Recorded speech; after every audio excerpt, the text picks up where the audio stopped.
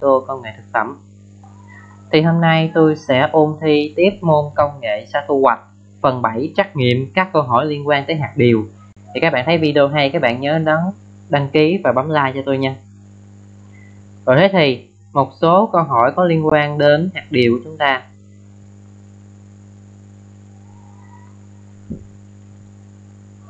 Mấy cái câu này là trong video trước là tôi đã giải rồi nha các bạn.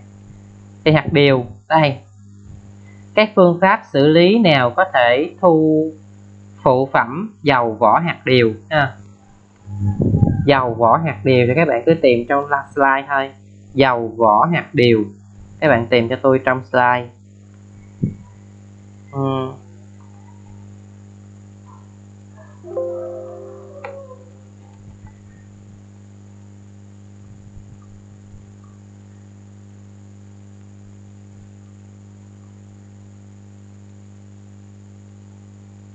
Dầu vỏ hạt điều là gì? À, bên ngoài nhân điều là lớp vỏ lụa và lớp vỏ ngoài rất cứng. Giữa lớp vỏ cứng và có chứa dầu phenolic không ăn được còn gọi được gọi nó là dầu vỏ hạt điều. Thì cái dầu vỏ hạt điều được sử dụng rộng rãi trong công nghiệp do có khả năng polymer hóa và giảm ma sát ha. Rồi tiếp theo. Xử lý nhiệt. Cái này quá trình rang trong quá trình hạt vẫn còn gì đó vân vân vân. Phương pháp đốt có ưu điểm tốc độ cắt bỏ và tỷ lệ nhân nguyên vẹn cao nhưng có nhược điểm tổn thất không thu hồi được dầu vỏ. Có nghĩa là cái phương pháp ờ, uh, rang này và cái phương pháp đốt á nó sẽ không có thu hồi được dầu vỏ hạt điều. Cho nên là cái phương pháp rang này các bạn loại đi nha. Rang trong dầu vỏ À, hạt điều hay còn gọi là phương pháp trao dầu ha. Thì à, hạt điều gì đó, vân vân, trong quá trình trao dầu, vỏ hạt phồng lên nứt chân chim do hơi nước trong nó bóc ra.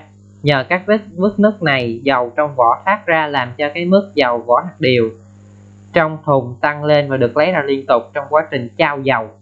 Thì sau khi trao dầu, hạt được đưa qua máy ly tâm để tách hết các phần dầu còn lại. Thế thì cái rang trong dầu vỏ hay còn gọi là trao dầu á. Là các bạn sẽ phương pháp ờ, các bạn nhìn qua trắc nghiệm nha. Phương pháp xử lý nào có thể tận thu phụ phẩm dầu vỏ hạt điều thì đó là phương pháp trao dầu. Thì có một câu trao dầu có thi nữa là khi mà các bạn quan sát, thấy cái bề mặt vỏ, hạt, thấy rõ các vết nứt chân chim, cầm hạt có cảm giác nhẹ và khi lắc cảm nhận được giữa vỏ và nhân có một khoảng hở thì cái quá trình à, dầu vỏ này được hoàn toàn ha. Và các bạn lưu ý cho tôi là cái nhiệt độ trao khoảng 180 đến 200 độ C nha các bạn ha. Rồi.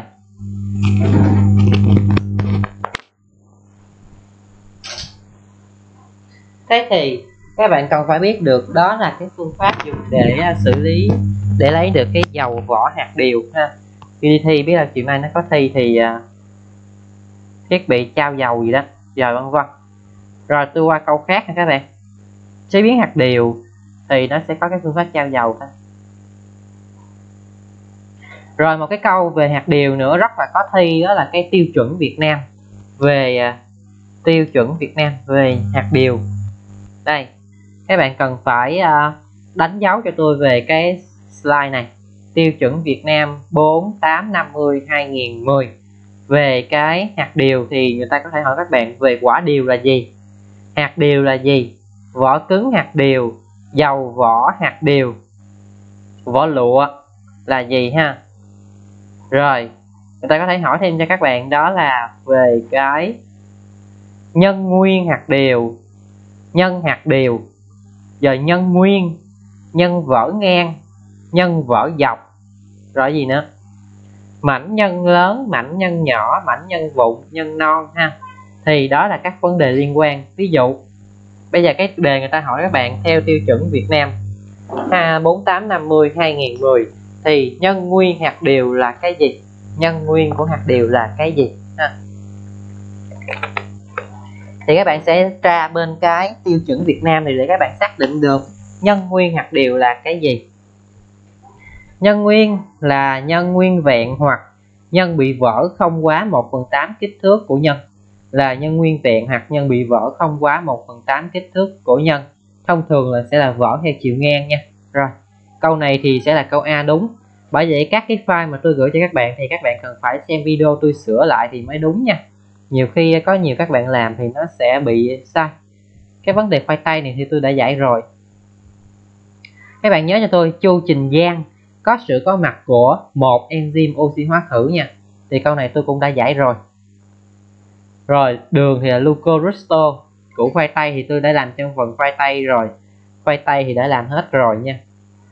Bây giờ tôi sẽ xem xem con có câu nào hạt điều nữa không thì tôi giải luôn. Khi quả xoài chín thì đã tôi đã giải rồi. Chitosan. Dùng để làm gì? À các con, đây. Để nhân hạt điều trắng phương pháp xử lý nhiệt phù hợp là gì? Thì à, tôi sẽ tìm chữ trắng đi. Tôi sẽ tìm bên đây là cái chữ trắng nha các bạn. Thế thì để mà cái nhân hạt điều nó trắng thì có nghĩa là nó sẽ không bị oxy hóa bởi à, tác tác tác tác nhân. Khi oxy hóa giống như là nhiệt quá nhiều thì tôi nghĩ là hấp luộc là đúng rồi đó để xem thử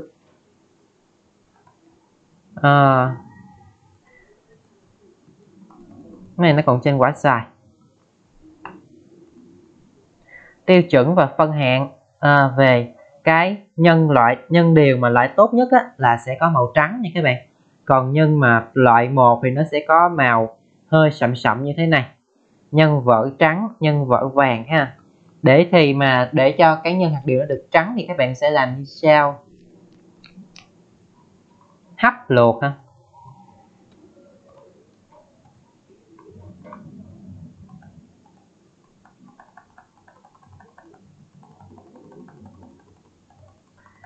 Uhm. hấp thì nó ra hô hấp rồi, bấm chữ luộc đi. Đây, chế biến hạt điều. Thì chế biến hạt điều thì phương pháp trao dầu, phương pháp luộc và phương pháp hấp tĩnh có các nhược điểm là hạt điều khó cắt dễ vỡ độ đồng đều. À, sau khi hấp không cao quá trình sấy khó đồng nhất. Quá trình bóc vỏ lụa khó. Thì sẽ là công ty dầu thực vật Bình Định đã sáng tạo ra phương pháp hấp hạt điều là phương pháp hấp động thì câu này có thi đó. Hồi đó hồi đó là phương pháp hấp động sẽ là ngâm ẩm trao dầu và hấp bằng hơi nước bảo hòa. Thì à, đây là nồi luộc hạt điều còn đây là cái máy hấp hạt điều hấp và luộc hạt điều nha. Để cho hạt điều của chúng ta nó được trắng thì để nhân hạt điều trắng thì phương pháp xử lý nhiệt sẽ là hấp luộc được chưa? Thế thì câu tiếp theo còn câu nào à, hạt điều nữa không? Hết rồi. Thì à, chúc cho các bạn chiều nay thi tốt nha. Tôi ra video này là cũng hơi sát cái cái vấn đề các bạn thi quá rồi. Rồi tại vì thi à, điều kiện bảo quản nhân hạt điều thì các bạn sẽ bảo quản ở nhiệt độ độ ẩm thấp, nhiệt độ thấp và sẽ là chân không. Được chưa? Độ ẩm thấp, nhiệt độ thấp, chân không. Rồi. Các câu còn lại thì tôi sẽ làm trong video kỳ sau. Cảm ơn các bạn đã theo dõi video này. Xin chào và hẹn gặp lại các bạn trong các video kỳ sau nha. Bye bye. Chúc chiều nay các bạn thi 10 điểm.